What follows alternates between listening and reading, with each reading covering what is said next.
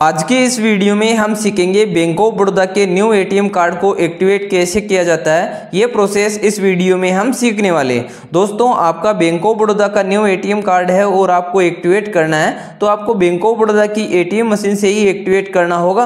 Other bank की ATM machine में आप अपने न्यू एटीएम कार्ड को एक्टिवेट नहीं कर सकते हो, क्योंकि जिस बैंक का हमारा न्यू एटीएम कार्ड होता है, उसी बैंक की एटीएम मशीन में हमारा एटीएम कार्ड एक्टिवेट होता है। अदर बैंक की एटीएम मशीन में एक्टिवेट नहीं होता है। इसलिए आपको अपने न्यू एटीएम कार्ड को एक्टिवेट करना है तो उसी बैंक की एटीएम मशीन में एक्टिवेट होगा, जिस बैंक का आपका कार्ड है।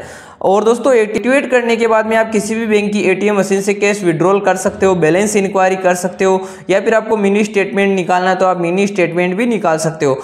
और दोस्तों, आप चैनल पे फ़र्स्ट टाइम आए हो और आपने अभी तक चैनल को सब्सक्राइब नहीं किया है तो इस तरह की इन्फॉर्मेटिव वीडियो पाने के लिए चैनल को सब्सक्राइब ज़रूर कीजिएगा और दोस्तों बेल आइकन को भी ऑल पे सेलेक्ट कर लेना जब भी मेरा न्यू वीडियो है आपको सबसे पहले नोटिफिकेशन मिलता रहे। अब दोस्तों, आपको अपने नजदीकी bank of Baroda ATM machine पर आना होगा अपने न्यू एटीएम कार्ड को एक्टिवेट करने के लिए।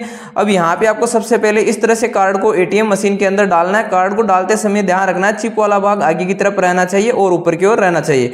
बाद में दोस्तों, यहाँ से आपको लैंग्वेज सेलेक्ट करना है। कुछ सेकंड वेट करने के बाद में, अब दोस्तों यहाँ पे आपको सेट जनरेट एटीएम पिन यहाँ पे आपको क्लिक करना है। यहाँ पे क्लिक करने के बाद में दोस्तों enter your 14 digit account number अब दोस्तों जो भी आपका अकाउंट नंबर है, यहाँ पे आपको डालना है। जो आपका बैंक ऑफ़ बड़ौदा का अकाउंट नंबर है, यहाँ पे आपको चौदह नंबर का अकाउंट नंबर होता है। यहाँ पे आपको कंप्लीट अकाउंट नंबर यहाँ पे आपको डालना है। तो इस तरह से जो भी आपका अकाउंट नंबर है, यहाँ पे आपको डालना है। बाद में आपको करेक्ट करना है। करेक्ट करने के बाद में फिर से आपको सेम अकाउंट नंबर फिर से यहाँ पे आपको कन्फर्म के लिए डालना है। Reenter your fourteen digit account number same account number यहाँ पे आपको डालना है।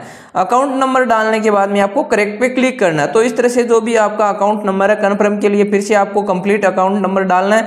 अकाउंट नंबर डालने के बाद में आपको करेक्ट करना है। करेक्ट करने के बाद में दोस्तों यहाँ पे आपके सामने इस तरह से ये वेट करना है प्रोसेस हो रही है।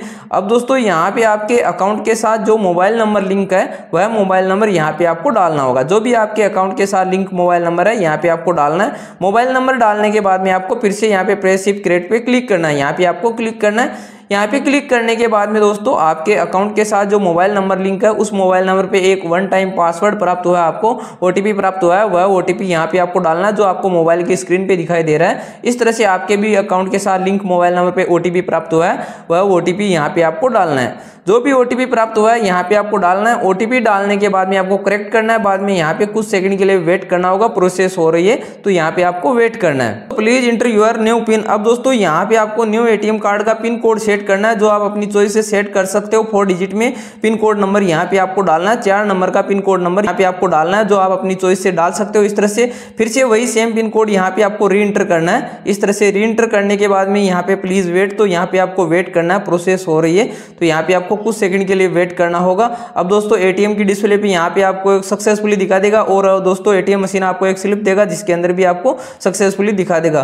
तो पिन चेंज सक्सेसफुली तो इस तरह से आप बहुत ही आसानी से अपने न्यू एटीएम कार्ड को एक्टिवेट कर सकते हो।